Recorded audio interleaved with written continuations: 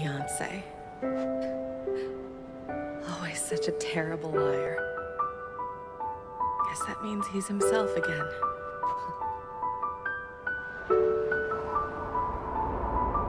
It's for the best. This is our story. For now. Hey, Erza, look at my drawing.